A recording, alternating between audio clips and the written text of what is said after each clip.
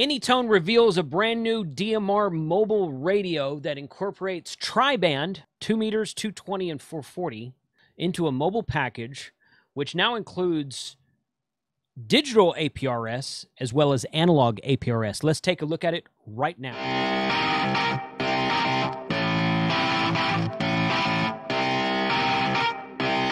Shut up and sit down. Ham Radio 2.0, where we do reviews, news, and how to's of things that are new in amateur radio. Well, guess what? This is brand new. I just learned about this. The guys at Gigaparts actually sent this to me. And I went and did some checking around, and the only place that actually has it listed right now is Powerwerx. So, Powerwerx.com has this brand new Anytone AT-D578 UV3 Plus. Now, the old one was referred to as the UV3 Pro. Basically, there was four models of the Anytone mobile DMR radio prior to this release. Okay.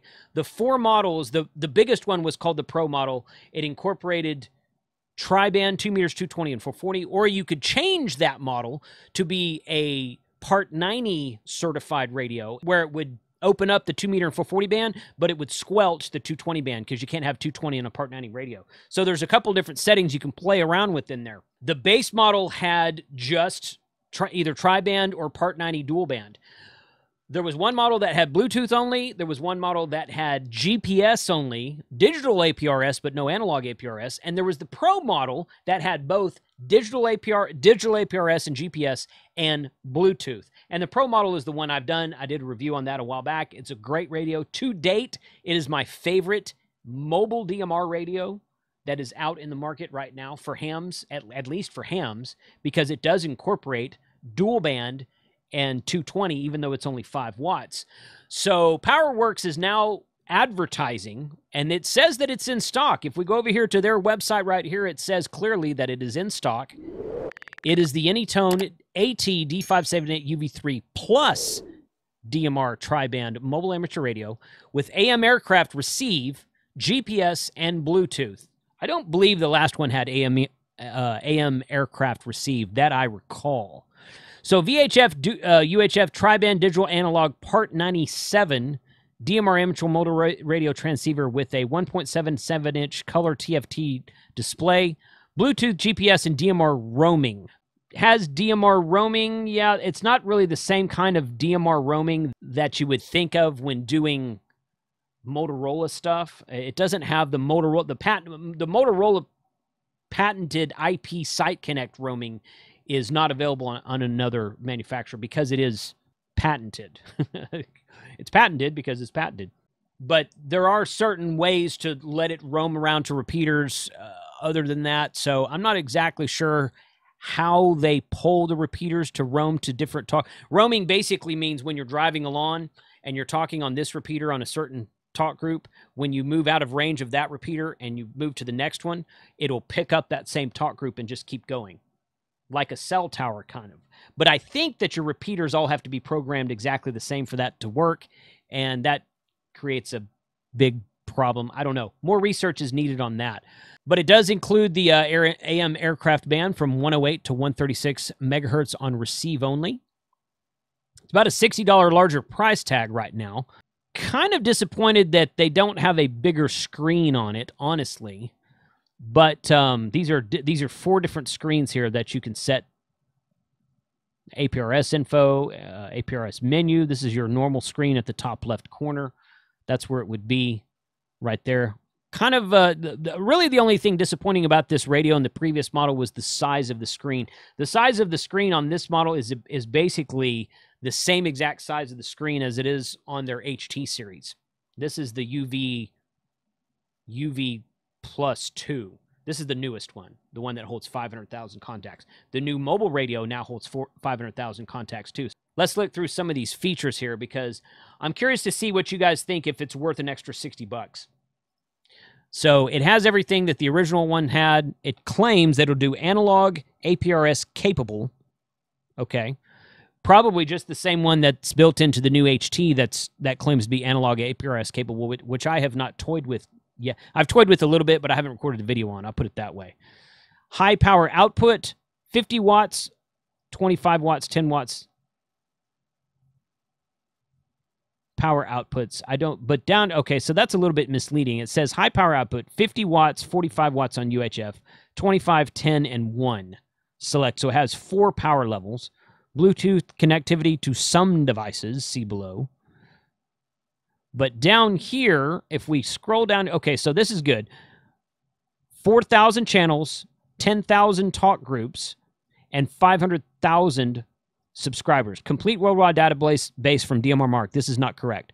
The database no longer exists on DMR-MARC. It exists on radioid.net. So that's old information. Powerwerx is not up to date on that, apparently. Also, right here, actually, they might have just copied, pasted this from Anytone. Anytone may be the one's not up to date. I don't know, but they should check that because that is not correct. The database is no longer on DMR-MARC. Hadn't been there for two or three years or more. This right here, power levels on VHF 144 to 148 is 50, 25, 10, and 1. 220 is still 5 and 1 watts. So there's only two levels, and the top level still only 5 watts. That's disappointing. That's disappointing. For an extra 60 bucks, basically, I well, for an extra 60 bucks, I would expect more. Uh, UHF does 45 watts on high, 250 zones. That's pretty much the same. Bandwidth is both narrow and wideband for analog. Import the CPS other stuff like this. So basically, what they're saying here is that if you want to pay an extra $60 for this radio, now, this, I'm not saying it is or it's not worth it. If it was a true tri band radio that did 25, maybe 20, 20 watts minimum, 25 watts preferably on 220, that would be worth it that would be worth it. I would be I would be on board with that. But right now, the only thing that they're offering you for an extra $60 over the Pro model that exists today, the one I've done the video on, is an increased capacity from 300,000 to 500,000 contacts in the database, which today we don't need that because the database right now is only around 200,000 contacts. Now, it, it is more future proof. It is something you will need later. Quite frankly, I would be surprised if the original model is not able to be upgraded because that's just a matter of memory and the mobile radio is large so you can put a larger chip in it it seems to me like that's something that would be easy to upgrade i don't know they're giving you they're claiming analog aprs and larger database contact database and talk group capacity for an extra $60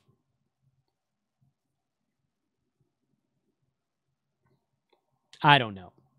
I don't know. I would want to know how well the APRS works. I'd want to know how well the APRS works.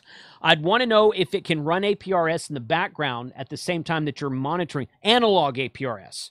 I want to know if it will run analog APRS in the background while you're driving down the road talking on the DMR radio into repeaters or or maybe your hotspot. Those of you who run mobile radios with an external antenna, but you talk into a hotspot, I don't understand you folks. Nothing wrong with that. I do that myself on road trips. But if I'm at home, I'm using the local repeaters. Now, if you don't have local repeaters, obviously you don't have you don't have that option. But if you have all these local repeater, I know guys in DFW who do this. Guys in North Texas, they have there's 15, 18 different repeaters throughout North Texas between between Dallas Fort Worth and the Oklahoma border, and they drive around with their mobile radios in their car talking on their hotspot. I don't get that, but to each his own. The great thing about amateur radio is there's plenty of room for everybody. but if you're if, if you're on a road trip, there the, the hotspot is very useful.